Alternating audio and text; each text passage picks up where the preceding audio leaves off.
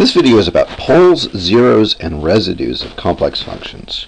We'll make the assumption here that our function f, which is f of z, a complex number, has isolated singularities. What that means is that f is analytic except at a set of points S and for which if Z naught is in S then there is an open set containing Z naught and no other point of S. The picture looks something like this.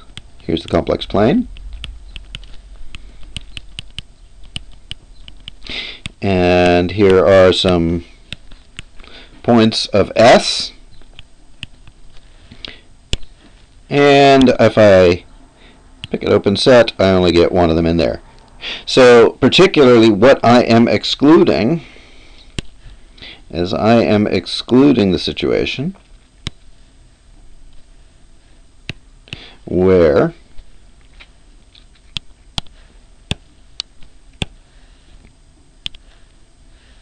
where uh, we have a sequence of points, oops, a sequence of points that tend to Z naught. In this case here, no open set containing Z naught alone. So this is not what we're talking about. Okay, so with that ground rule aside, let me first of all tell you, give you a definition.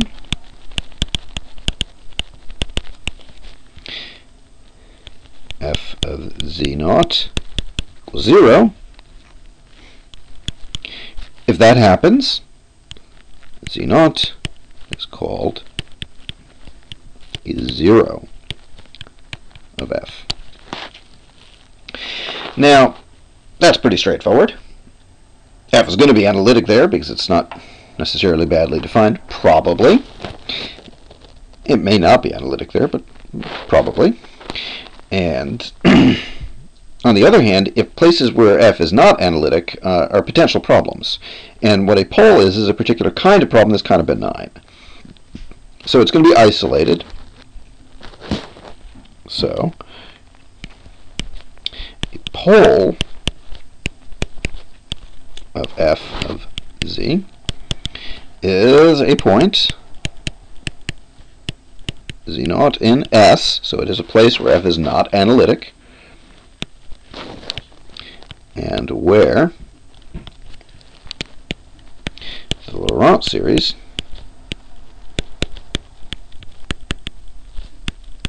of f is of the form so we're going to write a Laurent series centered at z naught So we have the Taylor series part.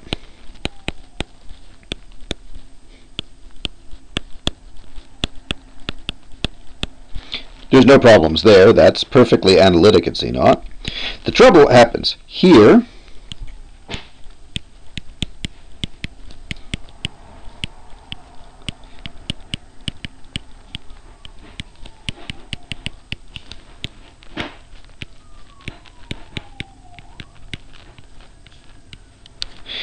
uh, happens here. In fact, you know what, just to distinguish what's going on here, I'll call that M.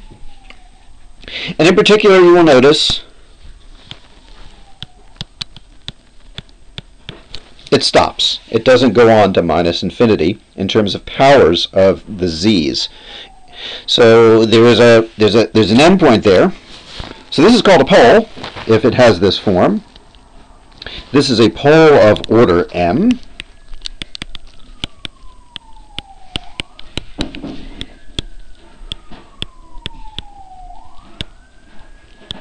said to be a pole of order m, and the coefficient b1 is special.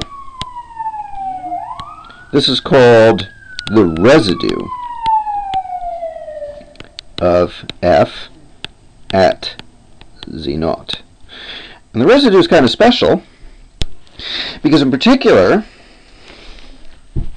there's a, a lemma. Lemma is if I take the integral around any closed curve, closed contour of f of z,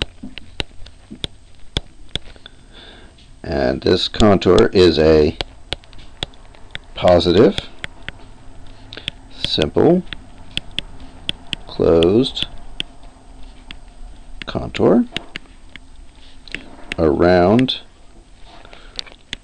z naught and no other point of S. If I compute that, I get 2 pi i times b1, the residue. We usually write this as 2 pi i residue at z naught of f of z. That's usually the notation we'll use. Now, the reason why this lemma is true and does not pick up all those other guys, well, first of all, you will notice if I use this Laurent series, the Taylor series part doesn't play any role because the Cauchy-Goursat theorem tells you that integral is going to be 0. All the other guys, on the other hand, perhaps surprisingly, end up being 0 too. The function is not analytic there, for sure, so the Cauchy-Goursat theorem does not apply. But it still works out. So it's worth doing a little bit of a computation there to see that. So proof. The terms with z minus z naught to the n for n greater than equal to 0 contribute. Oops that was interesting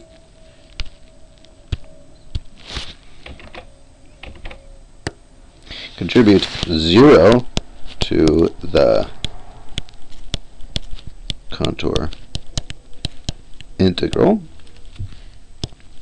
by the Cauchy Goursat theorem. Okay, that's good.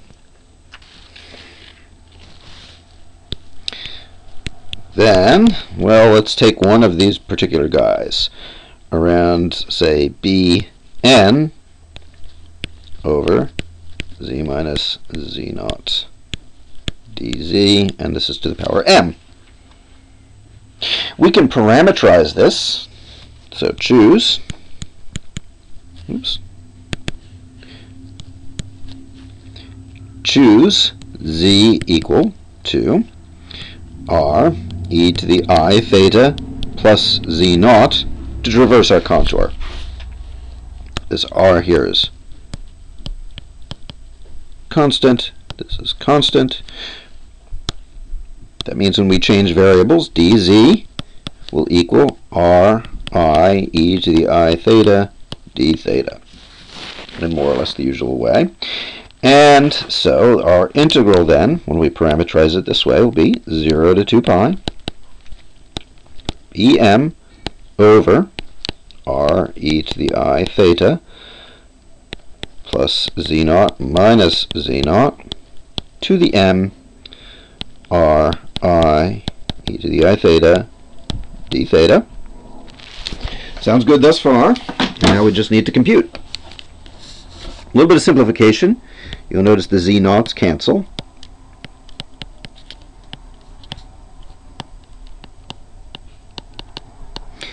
And the denominator turns into an r to the m, e to the i m theta, d theta.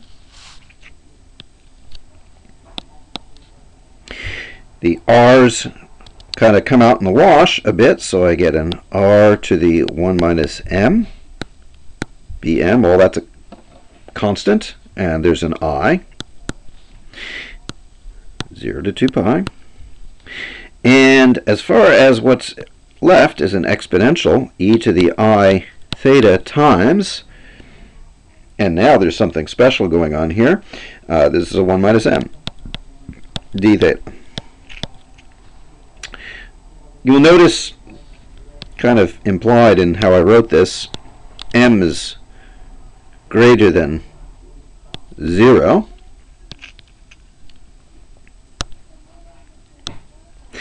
So you get two possibilities here. If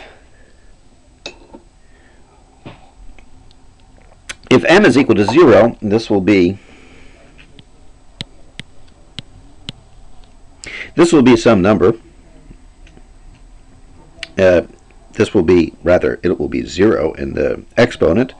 So this will be r 1 minus m, b to the m, i,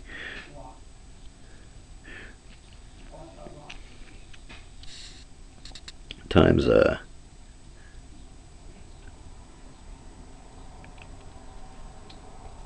times uh, 2 0 2 pi d theta. And otherwise I'll have an r 1 minus m b to the m i 0 to 2 pi e to the i theta 1 minus m. This is m equals 1 m greater than 1. If m is equal to 1, one thing you will notice right away is that that r thing here, right, goes away. Why? Because 1 minus 1 is 0. So that's r to the 0. That goes away. Uh, otherwise, this particular expression down below looks just the way it is. So doing some computing here, this, turn, this first one turns into uh, 2 pi i bm if m is equal to 1. Otherwise, uh, this is going to be a 1 over i 1 minus m e to the i theta 1 minus m between 0 and 2 pi. The thing to notice here is that uh, e to the uh, e to the i theta times some integer uh, when theta is equal to 0 or 2 pi are actually the same number. They're both 1. So this whole thing is equal to 0. So the conclusion is just what we asked for. 2 pi i bm if m is equal to 1 or 0 if m is greater than 1. Just as desired. Okay, so what that means then is that means that this lemma here is true, and this is why this B1 holds a special place, and it's called the residue at Z naught.